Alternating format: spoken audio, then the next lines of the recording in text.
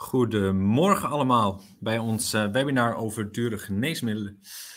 Uh, Els en ik gaan je vandaag even meenemen in de verschillende uh, dure geneesmiddelennormen die we ontwikkeld hebben. Samen ook met Nicole Verherpt, die op de achtergrond aan het werk is. En we gaan jullie meenemen in een vijftal uh, normen op operationeel gebied. Ehm, nou, de N4900 is misschien voor meerdere mensen al wel bekend. Maar deze speurt uh, gemiste versterkingshemoglijnscodes op voor medicinaal-oncologische subtrajecten. We hebben recent de N040 ontwikkeld. Dat is het uh, rechtmatigheidsbroertje die de juistheid van de geregistreerde versterkingshemoglijnscodes controleert. Dan hebben we de N4925 die uh, voor versterkingshemoglijnscodes, bijvoorbeeld voor botox, ehm, de ehm, gemiste DGM opspeurt. De N4910 is uh, een tijdigheidscontrole om te kijken of DGM en OZP stollingsfactoren wel tijdig zijn gefactureerd. En we eindigen met de N4920. Um, daar vergelijken we de apothekenuitgifte met de, duur, uh, met de registratie in de facturatiemodule. We gaan van alle normen de werking even samen doornemen en de verschillende instellingsmogelijkheden uh, die door veel ziekenhuizen zijn aangevraagd. We geven daar ook wat tips bij um, die mogelijk betere aansluiting voor jullie kunnen geven. We hebben de chat opengegooid. Uh, op het moment dat ik aan het praten ben, zal Els uh, de vraag beantwoorden. En, en andersom. Uh, op het moment dat het toch wat handig is om het mondeling toe te lichten, proberen we daar aan het einde van de norm even een momentje voor te pakken. Um, nou, ik wil beginnen graag met de N4900. Um, die kijkt naar gemiste oncologische begeleidings- en verstrekkingscodes voor medicinaal-oncologische subtrajecten. Die volgt daarbij de afsluitregel um, voor medicinaal-oncologische subtrajecten. En um, ja, we hebben een eerdere variant, de R05360, die door heel veel ziekenhuizen in gebruik is. Maar we merkten um, dat veel aanpassingen daarop niet meer mogelijk waren en dat we daarom een nieuwe norm ontwikkeld hebben. De R05360 wordt aan het einde van dit jaar uitgefaseerd en we willen graag iedereen helpen met het overstappen naar de nieuwe norm. Deze heeft ook een aantal voordelen. Um, bijvoorbeeld een impactbepaling, um, die we dan meenemen, waarbij we de afsluitregel proberen na te bootsen. En wat kan helpen met de prioritering van je acties. We zijn bijvoorbeeld ook overgestapt op een medicatiedefinitietabel, waar ik zo nog even op terugkom. Uh, waardoor het makkelijker is in onderhoud. En ook als er nieuwe medicijnen op de markt komen, dat die automatisch worden meegenomen.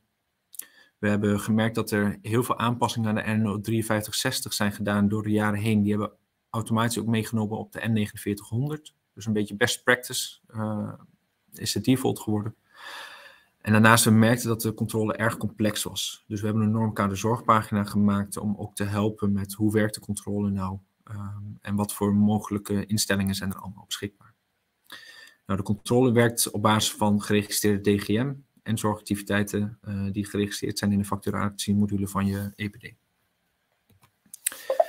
Ik zal even jullie meenemen in de, um, in de werking van de controle.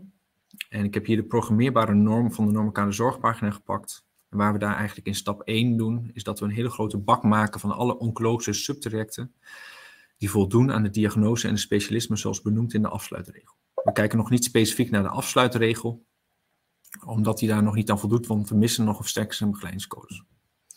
In stap 2 kijken we of de gekoppelde dure geneesmiddelen voldoen aan onze medicatiedefinitie voor immunotherapie, chemotherapie of hormoontherapie. Dat doen we op basis van ATC-codes. Ik weet niet of dat voor iedereen ook bekend is, maar ATC-codes dat zijn eigenlijk codes uh, op basis van de werkzame stof. En daar vallen allemaal ZI-nummers onder. Ik heb hier een voorbeeld uitgeschreven. Dus we signaleren uiteindelijk op basis van de DGM. Uh, bijvoorbeeld hier heb ik hier een ZI-nummer uitgeschreven. Die valt onder de uh, ATC-code van een werkzame stof L01CD01. We hebben uiteindelijk in die ATC-code-definitie, die medicatiedefinitie, hebben de hele groep van L01C, de taxane-groep, hebben we geïncludeerd.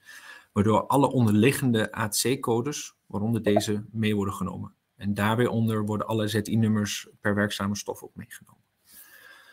Dit heeft dus als voordeel dat als er ooit weer een nieuwe werkzame stof onder de L01C-groep bijvoorbeeld komt, dat die automatisch geïncludeerd wordt op deze normen en dat niet handmatig hoeft worden toegevoegd, hoeft te worden, zoals dat nu op dit moment bij de R05360 gebeurt. En als er ooit weer een nieuwe variant van een uh, middel op de markt komt met een nieuw ZI-nummer, wordt die ook automatisch meegenomen. Nou, dan gaan we in de volgende stap, um, gaan, maken we een splitsing. We gaan de linkerkant op in de programmeerbare norm voor de orale en dermale middelen. En we gaan zo nog even in op de, de infusie- en injectiemiddelen. We doen op basis van tekstmining in de ZI-nummeromschrijving, kijken we of het of een, om een oraal of dermaal middel gaat. Nou, bij een oraal en dermaal middel verwachten we een begeleidingscode. Dan gaan we alle ehm, eh, face-to-face contacten opzoeken binnen de DBC waar de orale medicatie aan gekoppeld is. En we kijken of er op dezelfde dag als het face-to-face contact een begeleidingscode is geregistreerd. Ik heb hieronder een beetje visueel weergegeven wanneer de face-to-face contacten zijn geregistreerd binnen de DBC. En je ziet met de rode kruisjes dat op dezelfde dag een begeleidingscode ontbreekt. In dit geval zal dat tot een actie leiden moment dat er op diezelfde dag op een van die face-to-face contacten toch een begeleidingscode aanwezig is, dan leidt dat niet tot een actie.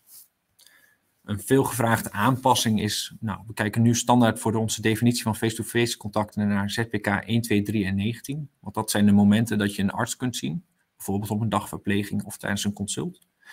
Maar waar veel ziekenhuizen toch aanvragen is, um, kun je dit toch alleen wijzigen naar een consult, dus een ZPK 1. En dat kunnen we dan aanpassen uh, via een aanvraag. Het is goed om te weten dat deze dus op DBC-niveau kijkt. Hij kijkt naar alle face-to-face contacten binnen de DBC waar de orale medicatie aan gekoppeld is.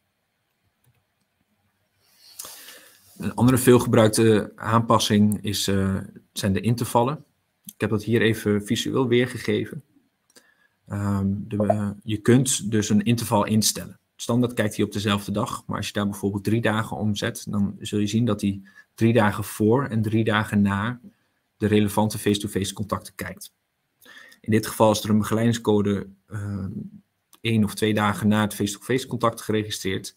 Die zal op dat moment binnen een interval vallen. En als je dat hebt ingesteld, dan leidt dat niet tot een actie. Want we zien toch vaak, en de meeste ziekenhuizen hebben dat ook al ingesteld in een periode van ongeveer nou, twee tot vijf dagen. Um, dat die face-to-face contacten en die begeleidingscodes niet helemaal gelijk lopen. Dan gaan we naar het stukje voor de verstrekkingscodes. Um, we hebben een apart uh, stukje voor de programmeerbare norm. Nou, we kijken via tekstmining of het om een infusie of een injectiemiddel gaat in de zorgactiviteitomschrijving of in, de, in het ZI-nummeromschrijving. En dan kijken we of er op dezelfde dag een, uh, een verstrekkingscode geregistreerd is. Um, hier hebben we dat face-to-face contact losgelaten. Um, omdat een infusie en een injectiemiddel in principe altijd door een zorgverlener wordt toegediend. Uh, we gaan er dus vanuit dat het altijd gebeurt zonder dat we daar per se naar een face-to-face -face contact moeten controleren. Ook hierbij kun je een interval instellen, bijvoorbeeld van twee tot vijf dagen, wat de meeste ziekenhuizen ook doen. Nou, hieronder heb ik visueel weergegeven. Je ziet dat bij de infusiemedicatie, de eerste die geregistreerd is op de eerste dag van de DBC, dat daar een verstrekkingscode is geregistreerd. Maar bij de tweede infusiemedicatie ontbreekt de verstrekkingscode. Nou, voor die tweede geven wij een actie. En als je die oplost, uh, dan zul je zien dat het DBC-eind zich waarschijnlijk ook naar de dag voor de uh, tweede verstrekkingscode in de reeks uh, gaat verplaatsen. We houden daar met de impactbepalingen ook rekening mee. Dus we sluiten de DBC en we openen een nieuwe DBC en we hevelen alle relevante zorgactiviteiten op basis van verrichtingsdatum over naar de ene of de andere DBC. En dat nemen we mee in de impactbepaling. Je ziet dan over het algemeen dat die impactbepaling ook fors hoger uitvalt dan bij begeleidingscodes. Um, ja, hoe de impactbepaling voor de begeleidingscodes uh, anders is dan voor de verzekeringscodes, is dat we bij de begeleidingscodes in principe alleen de zorgactiviteit toevoegen aan de DBC. Volgens de afsluitregels sluiten die 42 dagen daarna over het algemeen, maar we merken dat er toch ook wel veel andere zaken spelen, uh, waardoor we dat niet gaan simuleren. Uh, dat die 42 dagen daarna sluit. Uh, dus in principe bij de begeleidingscodes voegen we alleen de zorgactiviteit toe voor de impactbepaling. En bij de verstrekkingscode voegen we de zorgactiviteit toe. En sluiten we en openen we ook op basis van uh, die geregistreerde zorgactiviteit. Nou, een aantal veelgebruikte instellingen, parameters die we hebben, zijn dus voor de intervallen. We hebben twee aparte parameters voor zowel eentje voor de verstrekkingscodes en eentje voor de begeleidingscodes die ik zojuist heb toegelicht. Een andere is voor die definitie van de face-to-face contacten. Uh, standaard staat hij op 1, 2, 3 en 19, het ZPK. En veel ziekenhuizen zetten hem bijvoorbeeld ook naar 1 of naar 1, 2, 3. Een andere veel uh, aangevraagde uh, aanpassing is om uh, acties voor begeleidingscodes uit te sluiten indien er al een verstrekkingscode aanwezig is in de DBC. Veel ziekenhuizen zeggen, uh, willen deze actie in principe niet op gaan lossen, want we merken dat die verstrekkingscode toch leidend is binnen de DBC. Een variant daarop is dat we bijvoorbeeld de begeleidingscodes of de acties voor begeleidingscodes uitsluiten indien de verstrekkingscode aanwezig is voor de eerste face-to-face -face contact binnen de DBC. Dus je hebt twee varianten. Eentje als er gewoon een versterkingscode aanwezig is binnen de DBC, waar we de begeleidingscode verwachten. En de andere is als uh, de, uh, het versterkingscode aanwezig is voor het eerste feestcontact uh, binnen de DBC. Allebei worden ze gebruikt. Kijk ook even op normkaderzorg, daar staat het ook nog uitgelegd, de verschillen tussen de twee. Als laatste parameter um, hebben we de, het, de mogelijkheid voor het toevoegen en verwijderen van de ATC-codes uit de medicatiedefinitie. De standaard medicatiedefinitie staat op normkader zorg beschreven. Maar op het moment dat je um, bepaalde ATC-codes wilt toevoegen, dan kan dat. En ook als je die uit uh, wil sluiten. Een veelgevraagde toevoeging is bijvoorbeeld de immuunglobulines. Uh, niet alle ziekenhuizen zijn het ermee eens, dus daarom hebben we hem niet default toegevoegd. Maar je kunt dat via een aanvraag, kun je dat bij ons aangeven en dan kunnen we daar ook op signaleren. Nou, ik benoemde aan het begin van de N4900 al de overstap uh, van de R 5360 naar de N4900. We hebben in principe een einddatum ingevoerd uh, van 31 december 2022 voor de R 5360, omdat we alle nieuwe aanpassingen doen we in principe alleen aan de N4900 en we doen de 5360 voegen we alleen nog medicatie toe, maar doen we geen grote wijzigingen meer.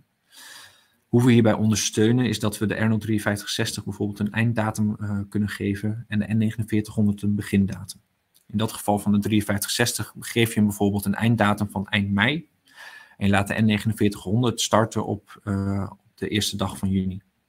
Dan heb je geen overlap. Um, je behoudt je historie en je genegeerde acties op de R035060. Maar je zult zien dat er langzaamaan de nieuwe acties instromen op de N4900 en op de N035060 langzaamaan uitstroomt. Je kunt ook nog met een harde uh, uh, hard werken dat je de R035060 echt uitzet. Maar we raden toch aan om met deze overstap te doen, omdat het over het algemeen wat makkelijker gaat.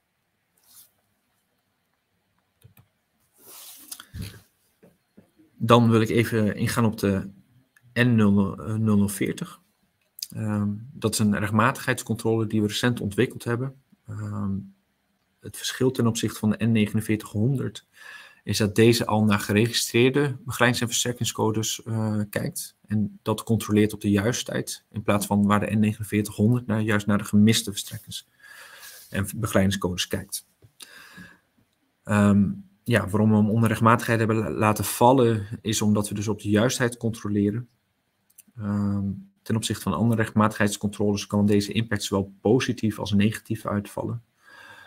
Dat zien we voornamelijk bij, uh, omdat we bij de impactbepaling de verstrekkingsbegeleidingscode veranderen door de verwachten, die wij verwachten, uh. En dan zie je bijvoorbeeld dat sommige trajecten, als ze van een niet gemetastaseerde versterkingscode naar een gemetastaseerde verstrekkingscode gaan, dat het een dure uh, subtraject wordt en daardoor positief kan uitvallen. Qua de bron, bron kijken we hier dus eigenlijk naar de geregistreerde dure geneesmiddelen maar ook naar zorgactiviteiten en de DBC-diagnoses die zijn geregistreerd rondom de relevante uh, acties. Hoe we dat hebben gedaan, is um, eigenlijk bij alle zorgactiviteiten voor de uh, en begeleidingscodes van uh, medicinaal-oncologische subtrajecten, zie je eigenlijk dat er drie assen zijn. Ik heb een voorbeeld gegeven daaronderin, door middel van kleurcodering. En dan zie je eigenlijk dat er drie verschillende assen zijn waarop we beoordelen. Als eerste hebben we de type toedieningswijze. Dat gaat of via een versterking of via een begeleiding. Dan heb je een type geneesmiddel, een chemotherapie, immunotherapie, chemo-immunotherapie combinatie of hormoontherapie. En je hebt een type tumor. Dus niet gemetastaseerd, gemetastaseerd slash hematologisch, die vallen samen. Of acute leukemie. Nou, hieronder heb ik een voorbeeld gegeven van zorgactiviteit 039141. En dan zie je dat het een verstrekking is voor chemotherapie die per infuus of per injectie wordt gegeven bij niet gemetastaseerde tumoren. Ik zal ze even stap voor stap uitleggen hoe we dat doen. De type toedieningswijze voor verstrekking of begeleiding. Daar kijken we naar de definitie op basis van de bijbehorende uh, dure geneesmiddel. Ik heb het net bij de N4900 al even benoemd, dat we door middel van text mining En dus uh, ZI-nummer omschrijving dat we kunnen zien of het om een infusie of injectie gaat, of een oraal of dermaal middel. Dus daar verwachten we bij infusie en injectie verwachten een. En bij een oraal of dermaal middel verwachten we een begeleidingscode. Nou, daar komt het eerste stukje al bij kijken en dat is de matching van zorgactiviteit aan het dure geneesmiddel. Dat is niet altijd even goed te doen. Um, dus we hebben een algoritme daarvoor gemaakt. Um, voor verstrekkingscodes kijken we naar dure geneesmiddelen op dezelfde dag. Dus is er een verstrekkingscode geregistreerd, dan matchen we dat voor de beoordeling aan het dure geneesmiddel die op dezelfde dag is geregistreerd. Dit kun je via een interval kun je dit aanpassen. Uh, op het moment dat die toch net één of twee dagen bijvoorbeeld van elkaar uh, wisselen. Voor begeleidingscodes kijken we net iets anders. Uh, daar merken we dat de begeleidingscodes best wel kan missen van de geregistreerde DGM. Daar kan best wel wat tijd tussen zitten, ook omdat je met die face-to-face contacten speelt. Dus daar kijken we in principe naar het dichtstbijzijnde dure geneesmiddel binnen het subtraject. Dus als er meerdere DGM's zijn geregistreerd, dan kijken we het dichtstbijzijnde uh, op basis van de verrichtingsdatum van de begeleidingscode die daarbij hoort. Vinden we geen duur geneesmiddel, dan krijg je geen actie. Daar zit een reden achter. Um, dat komt omdat er ook veel niet dure geneesmiddelen worden geregistreerd. Die kunnen we helaas niet in factuur terugvinden en we halen nog geen toedieningsregistratie of medicatieorder standaard op waar we dit op kunnen beoordelen. Wat we zagen bij het testen is dat er bijvoorbeeld heel veel acties naar voren kwamen waar we dus geen uh, geneesmiddelen bij konden vinden en dus de beoordeling niet goed konden uitvoeren. Dus daarom hebben we ervoor besloten om default geen actie te, vinden, uh, te geven op het moment dat we binnen de criteria geen uh, eh, DGM kunnen vinden. Je kunt hier via parameter uh, op afwijken, maar we raden niet aan omdat het heel veel acties geeft.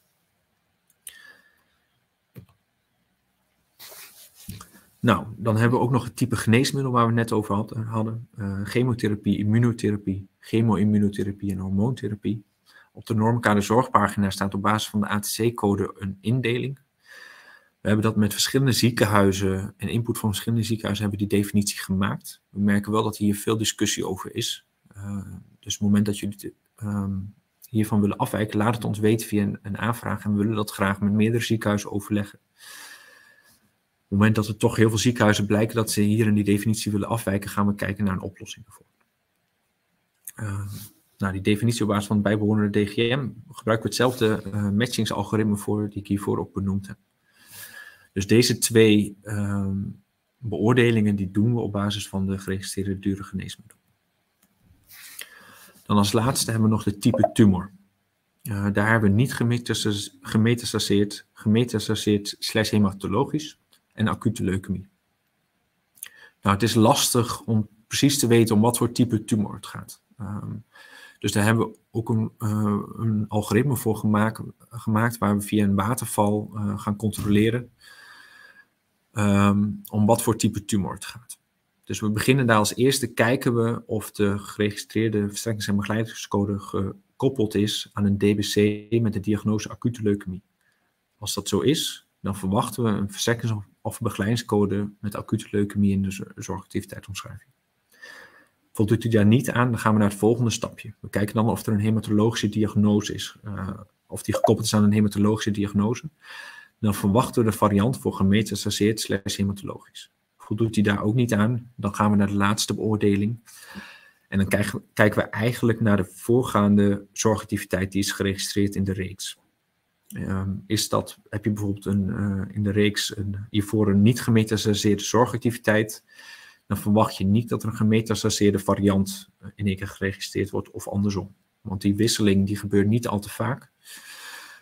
Um, dus daar registreer je een mismatch. Um, ja, een beetje een vreemde eend is de verstrekking voor radiumchloride. Uh, die is alleen in hele specifieke gevallen. Dus die hebben we even losgelaten van die drie assen. Daar controleren we alleen op het geregistreerde geneesmiddel. Um, dus is deze verstrekking geregistreerd, dan kijken we op dezelfde dag, is er ook een radiumchloride uh, geregistreerd. Uh, indien dat niet zo is, dan krijg je een actie. Nou, dat kan best wel wat ingewikkeld zijn, uh, dus ik wil het even illustreren met een voorbeeld. Um, stel, je hebt een actie um, met een verstrekking chemotherapie per infusie of per injectie bij gemetastaseerde of hematologische tumoren geregistreerd op 1 januari 2022. Dan geven we in de toelichting weer, in de eerste regel, uh, die begint met N040. We, hebben, we zien een verstrekking voor de categorie gemetastaseerd hematologisch met type chemotherapie. We matchen daar aan een DGM met dit ZI-nummer, in dit geval Vincristine, ook op 1 januari 2022. En dan geven we daarna wat we verwachten bij dit medicijn. Ik heb hier voor kleur, met de kleurcodering ook even aangegeven wat goed gaat met groen, maar waar de mismatch, mismatch ontstaat. In dit geval, uh, nou, in beide, het gaat om een versterkingscode, dat is oké, maar de mismatch gebeurt op acute leukemie. Uh, dus er is een gemetastaseerd hematologische versterkingscode geregistreerd, maar we verwachten een acute leukemie. En waarom we dat verwachten is omdat die is gekoppeld aan een DBC met de uh, diagnose acute leukemie. Nou, er kunnen natuurlijk meerdere dure geneesmiddelen op dezelfde dag worden geregistreerd. Um, nou, ons matchingsalgoritme kan dan niet per se uh, zien uh, welk medicijn die, waar die bij hoort. Dus dan benoemen we de, alle medicijnen die binnen dat, uh, die matching vallen, benoemen we. Dus bij verstrekkingscodes, als er twee middelen zijn geregistreerd, dan benoemen we dat in de toelichting. Als er één van die middelen overeenkomt met de geregistreerde verstrekkings- of begeleidingscode, dan geven we geen actie, want dan is één van die middelen oké. Een uitzondering hierop is als er een verstrekkingscode voor chemo of immunotherapie is um, uh, geregistreerd, dan doen we een extra check of er op dezelfde dag zowel een chemo als een immunotherapie is geregistreerd. Want dan verwachten we een chemo-immunotherapie um, uh, verstrekkings- of begeleidingscode. Dus dat is een uitzondering. Nou, ik benoemde eerder al even, um, omdat we de niet dure geneesmiddelen um, niet goed kunnen zien in factuur. Die registratie hebben we een, aantal zaken gedaan om uh, foutpositieve acties te voorkomen. Nou, de eerste daarvan heb ik al benoemd. Vinden we geen match binnen ons matchingsalgoritme van duur geneesmiddel en en begeleidingscode, dan krijg je geen actie. Je kunt via een parameter uh, alsnog ervoor kiezen om al die acties wel te zien. Dus als er geen geneesmiddelen bij worden gevonden, um, weet wel dat dit fors meer acties, of, uh, acties gaat opleveren. Uh, bij verstrekkingscodes voor de chemo-immunotherapie combinatie wordt ook aanvullend, uh, als er alleen een uh, duur geneesmiddel voor immunotherapie wordt gezien, wordt ook alleen dat goedgekeurd. Wat we terugzagen bij veel verstrekkingscodes voor chemo-immunotherapie, dat we alleen de immunotherapie variant zagen, omdat de chemotherapie een niet duur geneesmiddel was. Waardoor dat elke keer een actie opleverde, terwijl die eigenlijk wel goed was. Dus daarom hebben we ook, omdat immunotherapie voornamelijk dure geneesmiddelen zijn, we dat uh, op die manier, uh, proberen we hiermee foutpositieve acties te voorkomen. Nou, als derde mogelijkheid hebben we nog dat je de matching op toedieningswijze doet. Um, dat betekent dat je voor verstrekkingscodes alleen gaat matchen met infusie-injectiemedicatie. Dus dat je alle orale dermale middelen niet mee gaat nemen in de matching. En hetzelfde hebben we ook voor begeleidingscodes. Dus dat je voor begeleidingscode alleen orale dermale middelen uh, gaat matchen. Het nadeel hiervan is, is dat je dus niet meer kunt beoordelen op de toedieningswijze.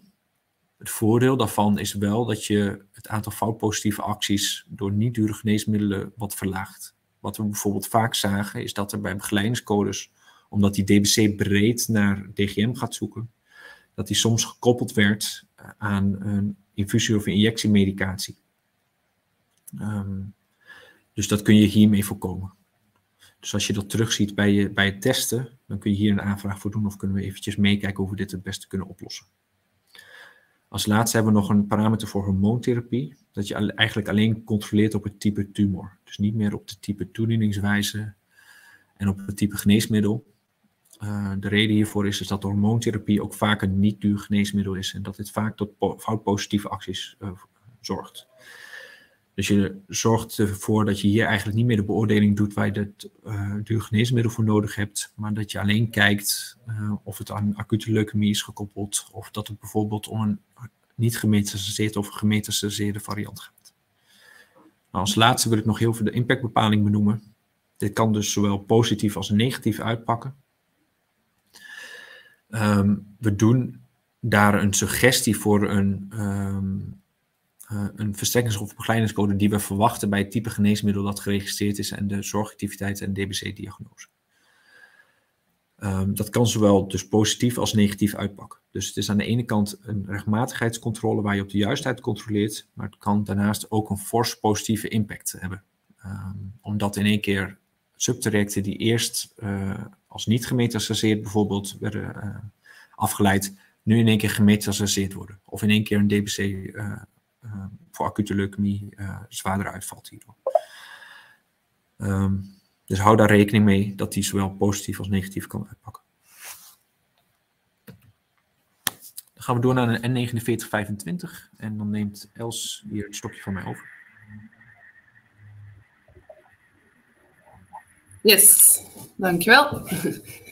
Uh, de 4925, uh, dat is de verstrekkings- of begeleidingscode, wijst op het ontbreken van een DGM in de facturatiemodule. Het doel daarbij bij die norm is dat we gaan kijken dat we missende DGM's opsporen op basis van de verstrekkingscode. En we kijken daar naar de dure medicatie in de facturatiemodule en naar de zorgactiviteiten waarbij je de medicatie verwacht. Uh, de N0040, die Frank net toelichtte, die zoomt in op de, de, oncologische trajecten en gaat daarbij beoordelen of de combinatie van de zorgactiviteit met de medicatie klopt. En wat we in deze norm doen, is dat we breder gaan kijken dan enkel die oncologische trajecten. En dat we gaan signaleren als we überhaupt geen uh, medicatie erbij vinden. Hoe doen we dat dan? Uh, we hebben een set van begeleidings- en verstrekkingscodes waar, waarbij we weten welke medicatie je uh, verwacht. En we hebben die codes ingedeeld in momenteel vier groepen. Dat is de uh, botox-injecties, de oncologische verstrekkingscodes, de intravitreale injecties en de hemodialyse met EPO. En bij elke groep hebben we dus vastgesteld welke medicatie daarbij hoort. Dat hebben we weer gedaan aan de hand van de ATC-codes. Dus bijvoorbeeld bij de botox-injecties hebben we vier zorgactiviteiten. Uh, waarbij je de medicatie verwacht. En daarbij verwachten we dan medicatie van de ATC-code M03AX01. Uh, deze groepen die willen we blijven uitbreiden. Dus elke keer als we um, weten van nou, bij deze verstrekkingscode verwachten we deze medicatie, dan kunnen we die gaan toevoegen aan de norm. Uh, daarbij zijn we ook wel afhankelijk van uh, input die we vanuit het netwerk krijgen. Een mooi voorbeeld daarvan is de hemodialyse met EPO. Die is sinds deze week toegevoegd aan de norm. En dat hebben we nou ja, ook gedaan op basis van input vanuit het netwerk. We werden erop gewezen dat dat vanaf dit jaar dat het als dure medicatie geregistreerd mag worden. nou, dus dat zijn we ook gaan inbouwen. Um, het is hierbij goed om te melden dat we dat niet standaard nu bij iedereen al aan hebben gezet, omdat dat echt tot forse instroom kon leiden. Dus we willen dat graag um, nou ja, in overleg aanzetten. Dus mocht je die groep ook willen gaan signaleren, stuur even een aanvraag in, dan kunnen we dat regelen. Hier nog even schematisch weergegeven. We zien bijvoorbeeld een uh, botoxcode op dag X. En we zoeken dan binnen het interval van drie dagen, daarvoor en daarna, of we het bijbehorende geneesmiddel vinden. Hier zien we dan op dag drie uh, de medicatie geregistreerd staan. Uh, en in dit geval is er dus geen aanleiding om te gaan signaleren, omdat we de medicatie gewoon vinden. Je kan hierbij het interval ook groter in gaan stellen, zodat je niet zegt ik zoek drie dagen ervoor en daarna, maar bijvoorbeeld vijf of zes dagen. Als je merkt dat daar vaker een, een groter verschil in zit. Het risico daarbij wel is, of nou, wat je in ieder geval goed in overweging moet nemen, is als je bijvoorbeeld wekelijkse kuren hebt uh, en je dus op dag X medicatie zou verwachten, maar ook op dag 7 en op dag min 7 dat naarmate je je interval groter in gaat stellen, dat de kans steeds groter wordt dat je gaat uh, koppelen aan een medicatie van bijvoorbeeld een kuurdeel uh, wat een week later wordt gegeven, waardoor je eigenlijk signaleringen kunt gaan missen. Uh, dus nou naast die intervalgrootte die ik zojuist uitlegde, kan je ook kiezen dus of je de groepen van de intravitreale injecties en de hemodialyse wil signaleren. Die twee groepen hebben we standaard uitstaan. Uh, bij de intravitreale injecties is dat omdat deze medicatie, we merkten dat deze medicatie niet altijd als duur geneesmiddel wordt geregistreerd. Dan lijkt het alsof, hij dus, alsof er geen medicatie is gesignaleerd en dan gaan we signaleren, terwijl dit allemaal onterechte signaleringen zijn. Dus die groep moet je actief aanzetten of aanvragen om aan te zetten. En de hemodialyse, zoals ik net vertelde, ja, die is dus sinds deze week toegevoegd. Um, en die kan je ook op aanvraag aanzetten. Daarnaast kan je nog specifieke verstrekkingscodes uitsluiten als blijkt dat dat onterechte signaleringen geeft. En hoe passen we dan bij deze norm de impactbepaling toe? Want we, we signaleren een verstrekkingscode in dit geval waarbij de medicatie mist. Dus voor de financiële impact willen we medicatie gaan toevoegen. En om dan te bepalen welke medicatie we toe gaan voegen, gaan we aan de hand van de verstrekkingscode die we signaleren zoeken naar uh, soortgelijke DBC's.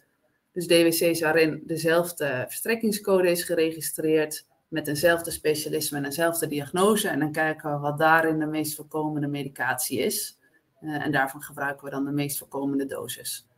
En die passen we dan toe als de financiële impact.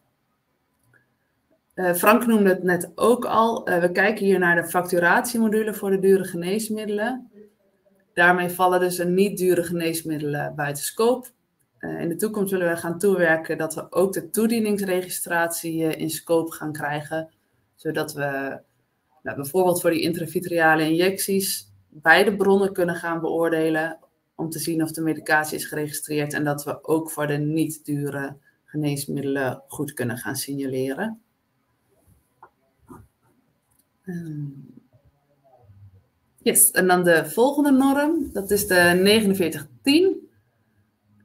Dat, doel van die norm is het, uh, of het signaleren van medicatie die al wel is geregistreerd, dure medicatie, maar nog niet is gefactureerd. Dus daarmee zit je alweer een stukje later in het proces, want uitgangspunt is dat de medicatie in ieder geval al geregistreerd staat in de facturatiemodule. En deze gaan we signaleren als deze uh, na 30 dagen nog niet gefactureerd is. Wat je met deze norm goed uh, in zicht krijgt, is gewoon de, het, het, volume van medicatie wat je nog kan verwachten dat er uh, gefactureerd gaat worden, dus wat er nog binnen gaat komen. Hierbij heb je een paar instellingen. Standaard signaleren we na 30 dagen na de, na de registratie. Um, deze vertraging kan je idealiter instellen op basis ook van uh, ja, de frequentie waarmee er binnen het ziekenhuis wordt gefactureerd. Als er bijvoorbeeld twee maandelijks wordt gefactureerd, dan zou je die vertraging een stuk groter willen gaan zetten. Zodat je pas gaat signaleren als er ook, nou, als je verwacht dat er ook daadwerkelijk gefactureerd is. En daarnaast kan je bepaalde DGM-types of aanspraakstatussen uitsluiten, waarbij je ook niet verwacht dat er gefactureerd wordt. Uh, voor de impactbepaling kijken we uh, ja, hoeveel, van de hoeveel missende medicatie zien we. Nou, dat, daarbij halen we tarieven op wat daarvoor geldt en dat zien we als de financiële impact. Waar we bij deze norm nog, uh, nou, waar we zouden, nog wat zouden willen aanpassen, is omdat we te maken hebben met onbekende tarieven. Bij de dure medicatie merk je vaak dat uh, de tarieven pas gedurende het jaar bekend worden.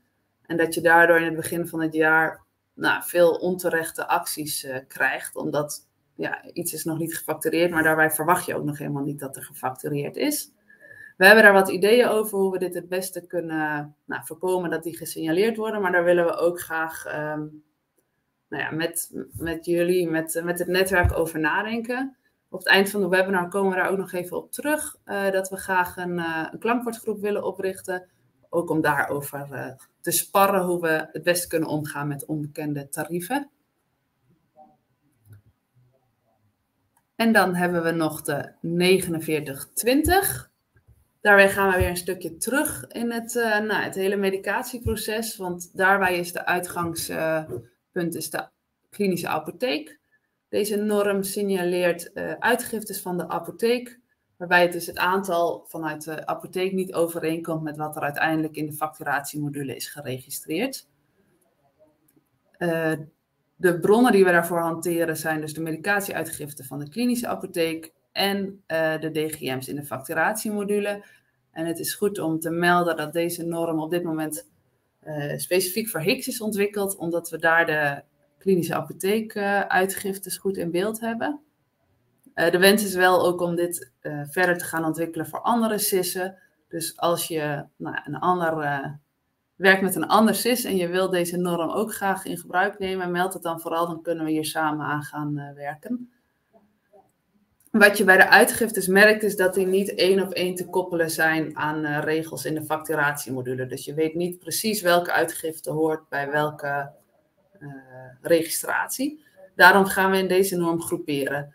Voor elke patiënt gaan we per ZI-nummer, dus per medicatie, voor een bepaalde periode optellen hoe vaak of hoeveel is hiervan uitgegeven door de apotheek en hoeveel zien we geregistreerd in factuur. En we gaan signaleren als dat uh, niet overeenkomt. En we houden daarbij ook rekening met de uh, retouren. Dus als iets toch weer retour gaat uit de apotheek, dan uh, tellen, we dat ook, tellen we die uitgifte ook niet mee. standaard tellen we, maken we dat sommetje per kwartaal. En houden we ook nog een vertraging daarbij. Ik ga dat even laten zien aan de hand van een schetsje. Dat maakt het wat visueler. Hier zie je bijvoorbeeld bovenaan de uitgiftes van een bepaald middel voor een patiënt in het eerste kwartaal. We zien dat er vier keer iets is uitgegeven. En nou, voor de overzichtelijkheid doen we nu ook even alsof er elke keer één eenheid is uitgegeven. Dus we zien dat er in totaal vier eenheden zijn uitgegeven in het eerste kwartaal. En we gaan vervolgens tussen de eerste en de laatste uitgifte kijken wat we in de facturatiemodule zien. Dus uh, nou, tussen die pijltjes gaan we tellen in de facturatiemodule. Uh, we zien dan in totaal vier uitgiftes, maar in die periode zien we drie uh, registraties in factuur. Nou, dan zou je denken dat komt niet overeen. Maar omdat de uitgiftes vaak vertraagd pas in factuur worden geregistreerd, gaan we bij een mismatch ook altijd nog even wat, nou ja, wat vertraagd kijken. Wat zien we daarna nog? Dus dan pas, kijken we nog binnen een interval na de laatste uitgifte of we nog registraties in factuur zien. Nou, die zien we inderdaad. En ondanks dat die registratie in factuur dan niet meer in het eerste kwartaal valt, nemen we hem toch nog mee. Omdat we in dit geval denken, die kans is zo groot dat die gewoon hoort bij de uitgifte, de laatste uitgifte in Q1, nemen we hem mee. Uh, nou, in dit geval, je ziet uh, een totaal van vier uitgiftes en een totaal van vier in de factuur. Dus dat ziet er gewoon keurig uit. Dus in dit geval is er geen aanleiding om te gaan signaleren. Wat valt er dan uh, nog in te stellen bij deze norm? zoals ik net al zei, we maken het sommetje standaard per kwartaal. Je kan er ook voor kiezen om dit per maand of per jaar te gaan doen. beide hebben voor- en nadelen omdat je nog zit met dat interval van nou, standaard zeven dagen na de laatste uitgifte. Uh, Zo'n interval van zeven dagen heeft op een periode van een maand natuurlijk een veel groter effect. Uh, dat je alweer een grotere overlap hebt met de volgende periodes. Dus als je op een maand gaat signaleren, kan je veel sneller signaleren, want een maand is sneller afgerond. Maar je hebt ook een groter risico op of onterechte signaleringen of het missen van signaleringen doordat je die overlappende periodes hebt. Anderzijds kan je op jaarbasis gaan signaleren. Dan is dat risico van um, overlappende periodes veel kleiner, maar duurt het wel veel langer voordat je signaleert, omdat we standaard pas signaleren als een periode is afgerond. Nou, het interval, zoals ik net al uitlegde, die staat standaard op zeven dagen, maar die kan je nog uh, aanpassen. En je kan daarnaast kiezen of je de huidige periode wel of niet signaleert. Uh, standaard staat de norm ingesteld op uh, afgeronde periodes signaleren. Dus een kwartaal 1 signaleer je pas als hij helemaal is afgerond. Dan wachten we nog even de, de, de vertraging en dan maken we het sommetje. Dat hebben we zo ingesteld omdat je dan elke periode maar één keer hoeft te beoordelen. En als daar een mismatch in zit, uh, die om welke reden dan ook dan toch terecht is, dan beoordeel je dat één keer en dan is het daarna klaar. Als je ervoor kiest om ook openstaande periodes te signaleren. Het voordeel daarvan is dat je mismatches al veel eerder kan signaleren. In het, nou, het begin van een maand, van een kwartaal, kan een actie dan gelijk al oppoppen. Maar het gevolg daarvan is wel dat we elke nieuwe uitgifte van dat middel opnieuw gaan signaleren. Omdat we gewoon niet zeker weten of een mismatch al eerder in het kwartaal zat. Of die dan nog invloed heeft op deze uitgifte, ja of nee. Dus vandaar blijft die actie, dat middel instromen voor een patiënt. Uh, dus daar, ja, dat is echt een afweging van welke periode kiezen we, jaar, maand of kwartaal, en wel of niet uh, afgesloten periodes signaleren. Uh, je kan een vertraging instellen op de norm en het is sowieso goed om een, nou, minstens de vertraging in te stellen op basis van de frequentie waarmee de medicatieuitgiftes worden ingelezen in factuur. Als dat twee wekelijks gebeurt, wil je ja, minstens wel een vertraging van 14 dagen. Anders ga je in die eerste 14 dagen per definitie onterechte acties zien. En daarnaast kan je er nog voor kiezen of je ook de uitgiftes wil signaleren waarbij er minder is uitgegeven dan dat er in factuur staat. Standaard doen we dat niet. Uh, je kan ervoor kiezen om die ook te signaleren. Er moet wel altijd minstens één uitgifte zijn, omdat we die dan kunnen signaleren. Uh, ja, de impactbepaling. Uh, we, gaan er, we doen nu de aanname dat alle ontbrekende medicatie, dus alles wat er meer is uitgegeven dan dat er in de facturatie is geregistreerd, nou alsnog geregistreerd gaat worden in factuur. Dat zal niet altijd zo zijn, want soms zal de oplossingsrichting ook zitten in het aanpassen van de, nou, de, apotheekregistratie. Maar voor de, dat, ja, dat kunnen we niet goed uh, concluderen. Dus voor de financiële impact kijken we puur naar de, naar de hoeveelheid DGM die mist. Uh, ja, vermenigvuldigd met het tarief. En dat zien we als de financiële impact. Ja, dan um, hebben we de vijf normen al um, doorgesproken. Um, en ze kunnen, ja, kunnen we al gaan afronden. Ik kijk even snel of Frank uh, nog vragen heeft waar we op terug uh, kunnen komen nu. Nou, ik zie Frank nog niet in beeld verschijnen, dus ik ga nog even twee punten toelichten. Het eerste is. Uh... Er zijn geen vragen, of de meeste heb ik volgens mij beantwoord via de chat. Top. Dan. Als er nog wat vragen zijn, we blijven nog even plakken voor de chat. Dus dan kunnen we die nog even afronden. Ja, Um, nou, ik wil graag nog twee dingen even benoemen. Er komt straks een uh, link in beeld.